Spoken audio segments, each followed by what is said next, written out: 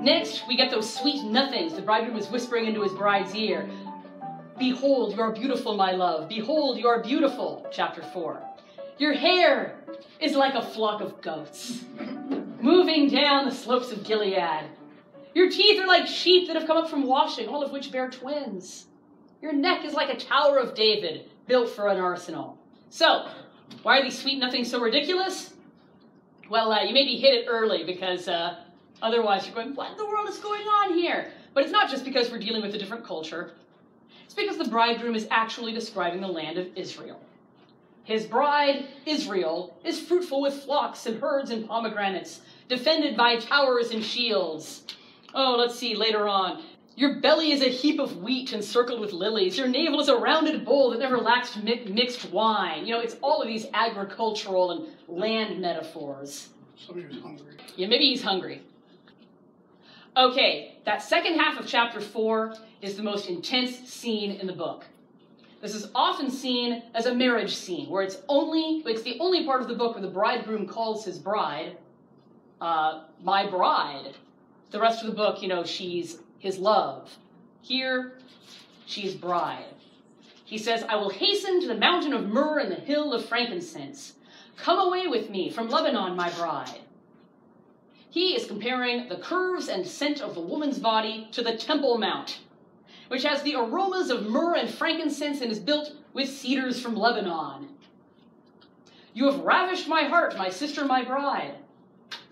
Why does he call his bride sister? Hmm. Okay, don't worry, it's not literal. Sibling marriage was outlawed in Israel. Rather, in that culture, it's a way of saying, You're a bone of my bone and flesh of my flesh. A garden locked is my sister, my bride. A garden locked, a fountain sealed. In the imagination of ancient Israel, the temple was the locked garden, the Garden of Eden. The temple was uh, decorated inside with, with all those images of Eden, and that these overlapping images of garden, temple, and woodman's body tell us that these are holy places where the human and divine meet. In nature and in human love, but especially at the Mass, and especially inside each and every one of us. Are we good so far? I think so. The bride replies, Awake, O north wind, and come, O south wind. Blow upon my garden, let its fragrance be wafted abroad. Let my beloved come to his garden and eat its choicest fruits. Here the bride summons the winds, which is something that only God does in Scripture and she invites the Holy Spirit to blow upon her, that her fragrance may be wafted abroad, that God may find her enticing and enter her. And he does. The bridegroom's reply I come to my garden, my sister, my bride. I gather my myrrh with my spice. I eat my honeycomb with my honey. I drink my wine with my milk. God comes into us to enjoy the fruits of the Spirit in us to revel in us. This is one of my favorite passages in all of Scripture. Every morning I begin my personal prayer time with the words, O God, make my heart a garden of your peace, a garden where you delight to dwell. I examine my heart to see if it is a, a fit dwelling place for God, if it's peaceful, or if there's any thought or worry or action that needs cleaned out. And like the bride here, I invite God to come in and make me his beautiful garden, his dwelling place. Eat, O friends, and drink. Drink deeply, O lovers. The impression here is that of celebration and complete satisfaction. For the Jews, this imagery of eating and drinking would have evoked a sacrificial meal in the temple. And for us, it evokes the Eucharist, when Jesus' body comes into our own. We are all invited to find God like this in prayer. St. Francis de Sales talked of the eating and drinking here as meditative and contemplative prayer, respectively. Meditative prayer, you chew on the word and see what comes up. In contemplative prayer, he says you must dare to get drunk, To contemplate God so frequently and so ardently is to be quite out of self, to be wholly taken up in God. And that's what love is giving ourselves away to the one we love and receiving him in return. He must increase, I must decrease. Then, right after this scene of intense intimacy, we get a missed connection. Chapter 5, verse 2. I slept, but my heart was awake. Hark, my beloved is knocking. Open to me, my sister, my love, my dove, my perfect one, for my head is wet with dew, my locks with the drops of the night. Does this verse remind us of anything in the New Testament? Hark, my beloved is knocking. Open to me, my sister, my love. Behold, I stand at the door and knock. If anyone hears my voice and opens the door, I will come into him and eat with him, and he with me. There we go. That's the last few verses right there. So, the woman hears her beloved's voice at the door, and her heart thrills within her. Yet she hesitates to open the door. I had put off my garment. How could I put it on again? I had bathed my feet. How could I soil them again? By the time she makes the decision to get up, her lover is gone. She goes out to find him, but she can't find him. She roams the city and calls for the watchman, Where is my beloved? And instead, she gets beat up. she says to her friends, If you find my beloved, tell him I am sick with love. Sick with love. Sick with love, love sick. That's a lot of days, isn't it? Jesus calls and we just don't get out of bed. Or uh, we don't make time for contemplative prayer. Or we do, and we still don't find him. And when we look for him and we still don't find him, sometimes it feels an awful lot like getting beaten up. And coming right after the ecstatic love scene at the end of chapter 4, that's a hard blow. Wait, what? I thought I thought because up until this point it's all been up, up, up and away. Now where are we going? Crash. The woman is suffering. She can't find her lover, and yet she is not discouraged. She persists, not only in searching for her beloved, but in praising him. My beloved is all radiant and ruddy, distinguished among 10,000. His head is the finest gold, his locks are wavy, black as a raven, and so on and so forth. Quite a long passage there. And through praise, she once again seems to find him. Has that been an experience for any of us? When we can set our minds on praise of God, we find him. When we can set our mind on thanking God, we find him. When we uh, list off all his attributes and all the things he's done for us and for the world, Song of Solomon style, we find him. Uh, this really does work, making a huge list of God, I thank you for this. I praise you for this. Thank you so much for doing this. He really does love to be wooed that way. What can I say? So she finds him again. She ends this part with, I am my beloved's and my beloved is mine. He pastures his flock among the lilies. Uh, we still have, what, three more chapters to go. Fortunately, it pretty well mirrors the first three chapters. Like I said, first part mirrors the second part. So I'm just going to pick up on a few things. When the woman praises the man, his head is the finest gold, his arms are rounded gold set with jewels. There's a lot of statue talk going on there. Except, uh, think of the statue of Nebuchadnezzar in the book of Daniel head of gold, chest of silver, feet of clay. There's no feet of clay here. His legs are alabaster columns set upon bases of gold. Oh, this is way better than any of those false gods.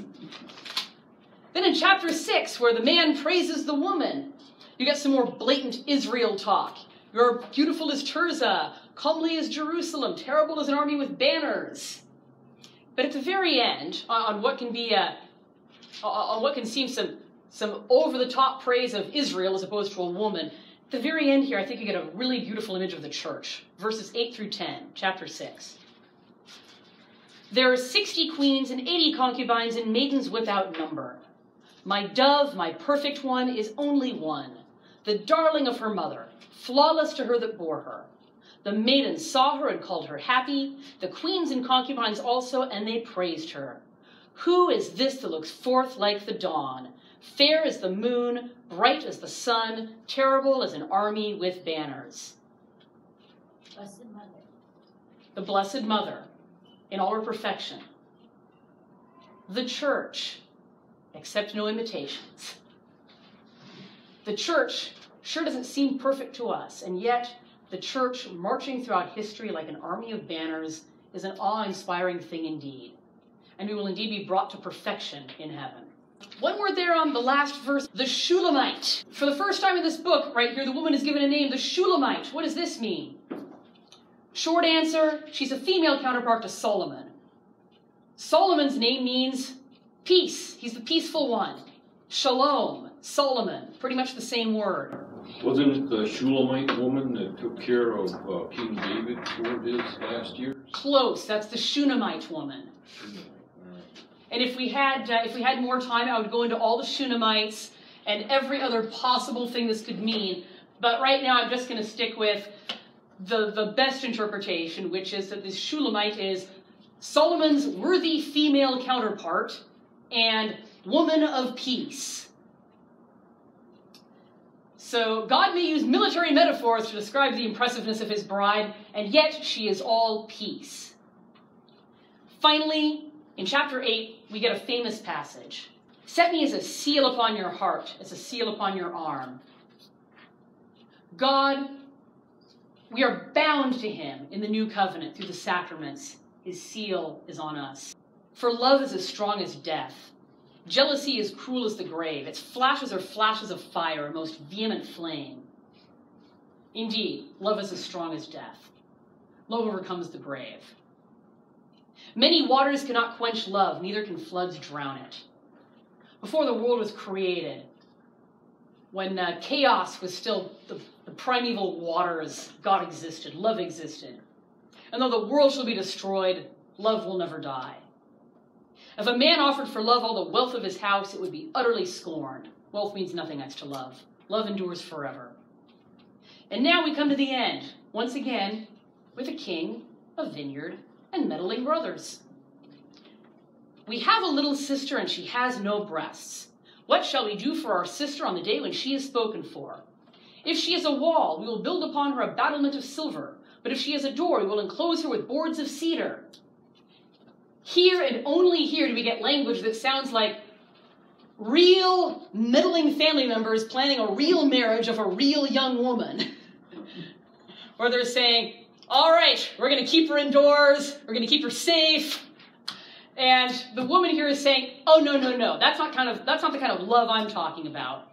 She replies here, I was a wall, and my breasts were like towers. Then I, won, then I was in his eyes as one who brings peace. In other words, no, no, no. I am fully grown. I am ready for love. I am God's love. I am God's woman of peace.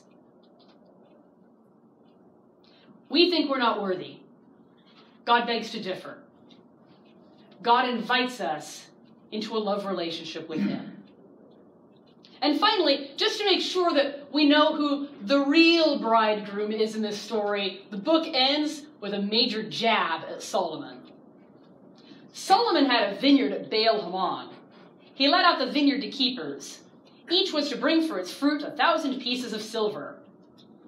Okay, Baal Hamon. You know the word Baal, right? Baal, of course, was a false god. It also meant Lord, Master, or husband. And the word Hamon means many. Baal Hamon is Lord of many things, husband of many. So that's uh, that's Solomon. What's Solomon's vineyard? He's the master of many. He's the husband of many, and he let out the vineyard to keepers.